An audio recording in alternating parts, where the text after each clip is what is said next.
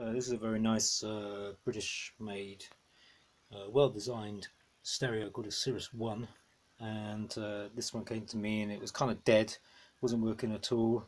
Um, I opened it up and I found that the um, there's a couple of like internal glass fuses, these quick blow fuses, and they were both blown on both sides.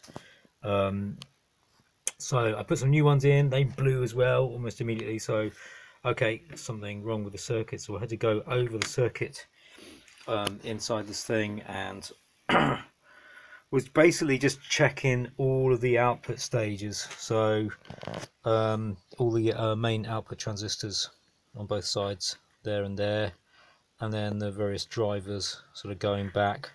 And I discovered that on one side we had um, this transistor Q43 and this one Q33 will not give me the correct values.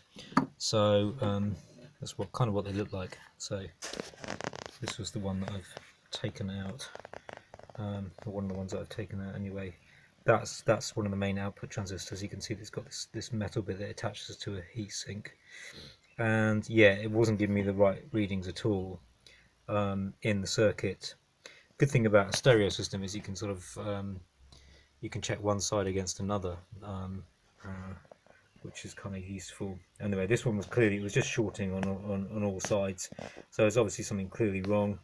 And um, yeah, so I basically just kind of like took it all apart, swapped in the new ones. I replaced that one, that one, and um, put the glass fuses in. And the other thing I need to do was rebias it.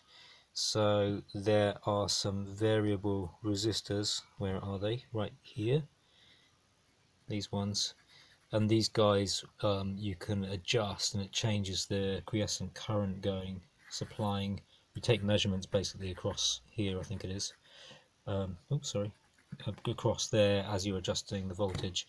Basically you kind of want the um, it, it, kind of idling at the right um, at the right current. So um, yeah I just made a couple of adjustments to the bias as well. And it seems to be working quite well. The only the only issue with this seems now really is as the switches are still working switching system the volume's not too crackly either. Um, it's just this sort of aesthetic thing because I think it must have suffered some damage at some point so it's been taped back I had to tape it back on. Um, there's there's some screws at the bottom that the um, have uh, I can't really show you at the moment but um, the basically the the the shell so that where the screw the, the, screw housing area is kind of cracked uh, cracked away. So it's had to be taped on instead. It's a bit of a shame but it's a nice it's a nice thing. It sounds really good. Really nice for playing um, records on. Anyway I might get one myself. Brilliant